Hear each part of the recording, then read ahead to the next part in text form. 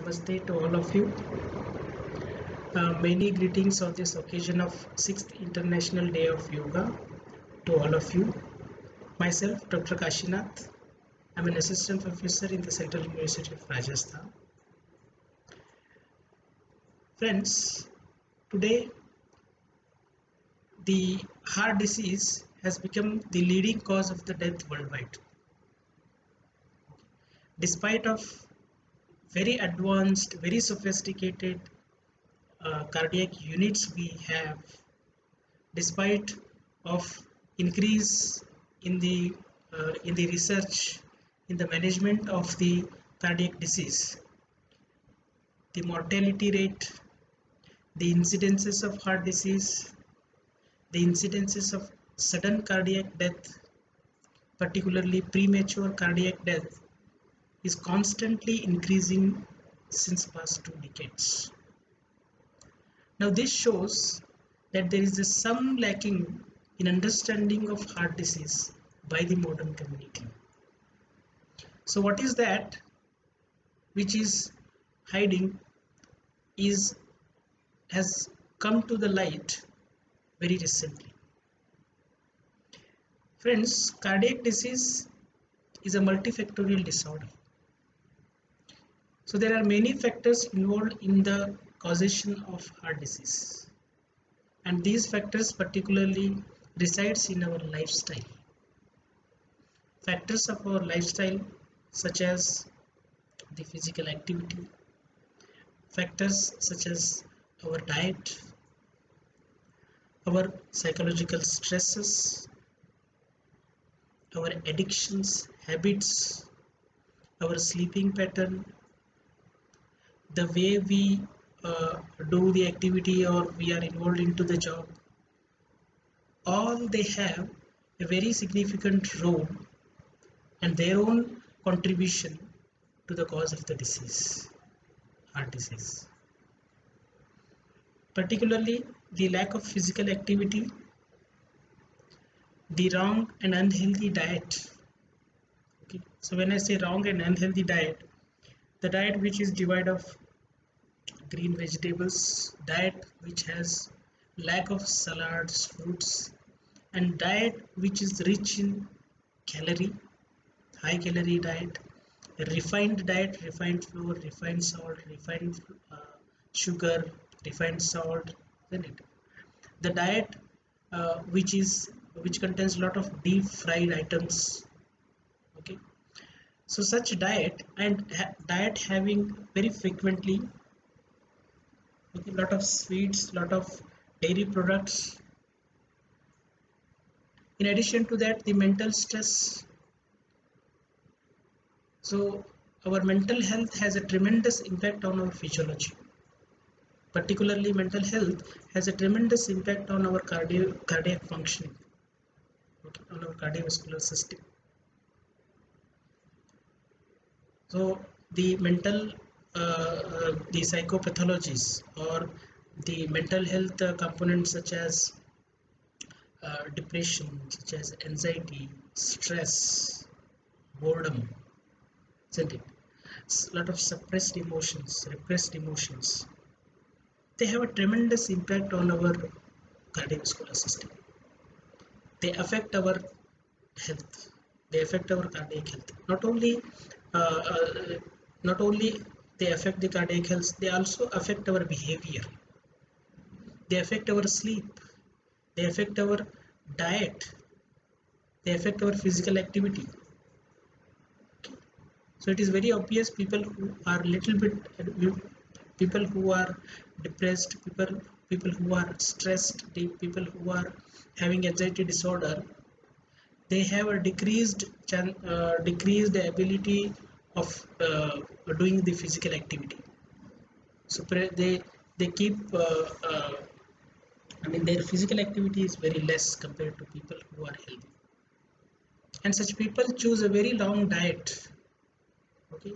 In stress we we want in stress and depression we want to have food which is a strong in taste okay? So like this the mental health component affects our behavior affects our lifestyle very significant in fact mental mental stress uh, and uh, the uh, disorders like depression anxiety so uh, they are the risk factor for addiction. So people who are having a mental health uh, who are mentally sick they become uh, addicted to some of the substances.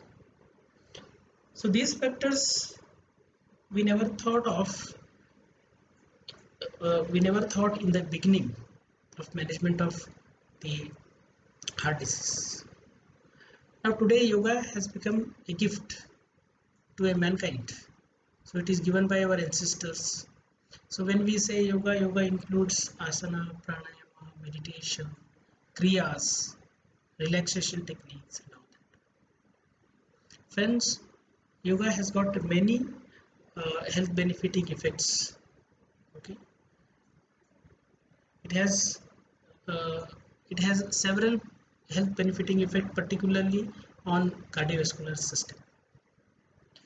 When a person who is healthy he practices yoga it helps to maintain the optimal level of blood pressure. Yoga improves the blood pressure the heart rate it reduces the peripheral vascular resistance okay? The all the blood vessels in the periphery becomes the the elasticity of the blood vessels increases. So hence the blood pressure is maintained well.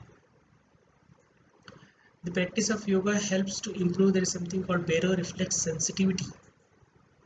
It is the ability of our body to to identify the variation in the blood pressure so those variations are very easily identified by uh, by the blood vessels of the yoga practitioners. And that communicates with the brain and brain brings the uh, blood pressure under normal condition. So yoga helps to correct that.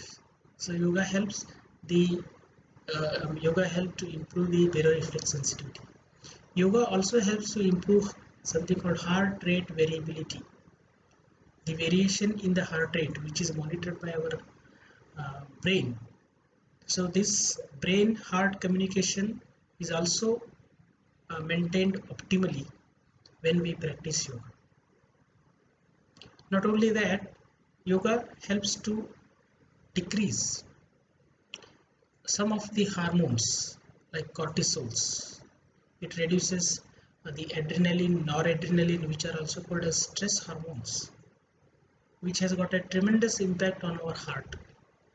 So adrenaline noradrenaline and the cortisols they tend to increase our blood pressure. They tend to increase our cardiac output. So they tend to uh, bring the pressure on the heart. So when we practice yoga so these uh, these hormone levels they, they decrease. Their levels is maintained optimally so like this the yoga has got a very significant role to play in the prevention of cardiac disorders. Okay? So if you practice yoga your chances of getting heart disease in future will be less. Okay. particularly people who are at risk of developing heart disease. Okay? So people who are at risk of developing heart disease they are uh, the people who have got the family history of heart disease. People uh, people who are obese or having a bmi uh, say more than 25 people who smoke. People who has got uh, the diabetes. People who are suffering from hypertension. People who are having high cholesterol.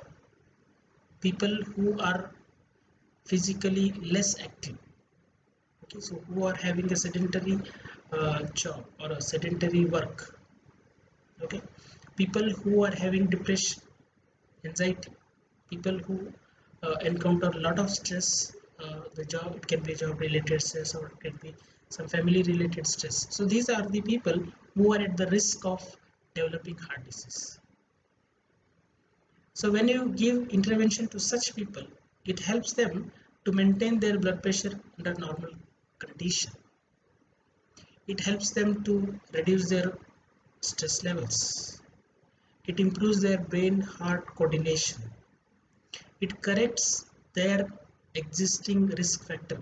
Like for example if it is uh, if a person who is having bmi more or obese if they practice yoga the they uh, i mean it, it helps them to reduce their weight it helps them to reduce their cholesterol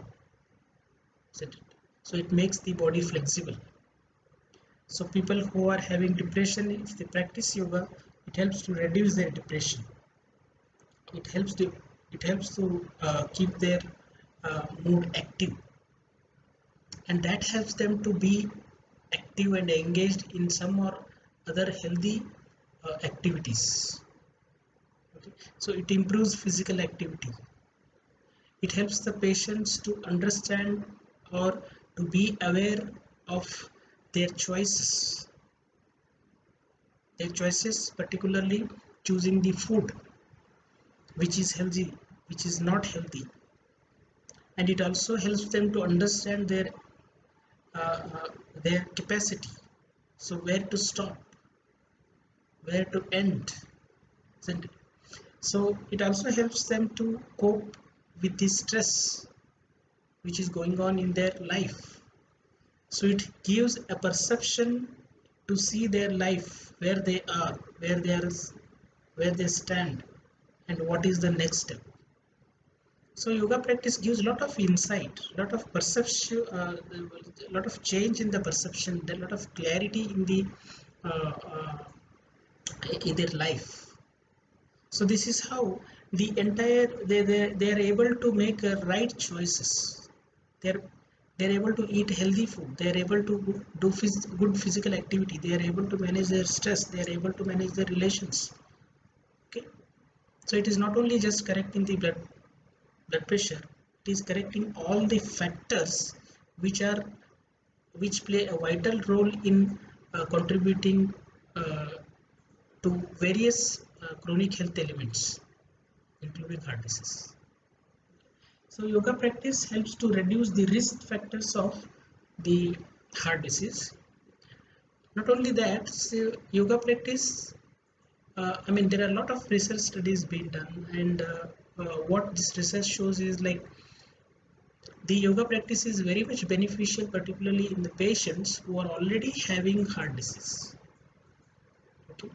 so uh, one of the very interesting uh, uh, studies i want to quote here is like one of the studies done by uh, one of the uh, indian author indian doctor cardiologist dr manchanda in which this they found that the yoga practice has got anti-atherosclerotic property. This is called atherosclerosis, atherosclerosis regression. So people, when they start practicing yoga, they are able to reduce the cholesterol or, or they are able to reduce the narrowing of the arteries. So what is the heart disease? What is the coronary artery diseases particularly?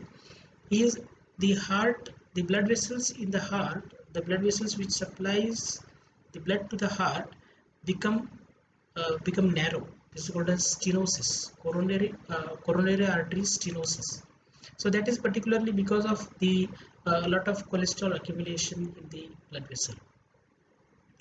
So regression of atherosclerosis is the stenosis uh, uh, stenosis get decreased. Okay? The the blood vessels become patent. So when somebody practices yoga, in addition to the diet modification, it helps them to reduce the atherosclerosis, atherosclerotic uh, uh, lesion in the coronary artery disease, and it helps to almost reversing the heart disease. And it also reduces the risk of stroke. Okay, so it reduces the uh, atherosclerosis in the uh, in the carotid artery, uh, carotid artery as well. And there are studies which are done particularly in patients who are suffering from congestive cardiac failure. So patients who are suffering from uh, cardiac failure, so yoga intervention has shown uh, that it, it improves their cardiac function.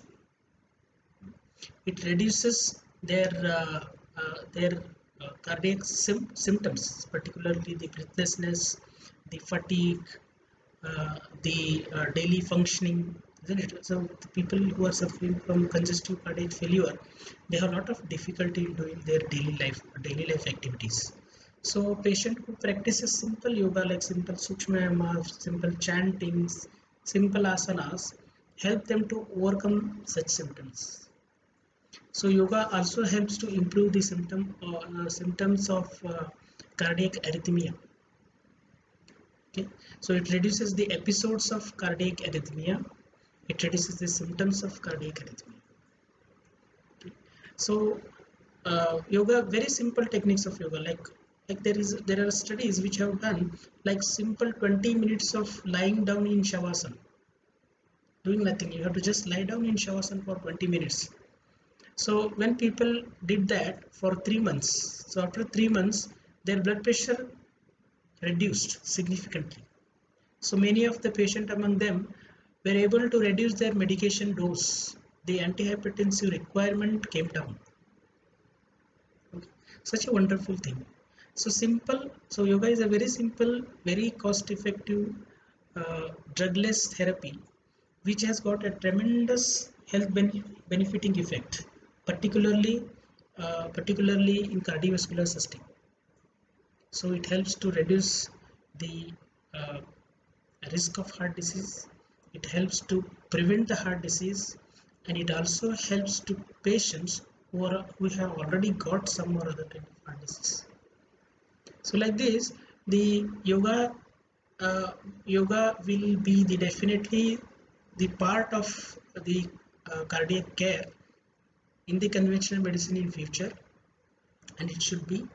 So that is the future medicine is the integrative medicine where the best of the alternatives and the modern medicine should come together in order to have an optimal uh, and a very comprehensive outcome of the management of these disorders particularly in the cardiac disorder by doing so we, we will be able to overcome this problem of uh, cardiac disease uh, and we, we, we can help the mankind in a better way. So with this, I would like to congratulate you and uh, many greetings to all of you on this uh, occasion of uh, International Yoga Day. Thank you. Namaste.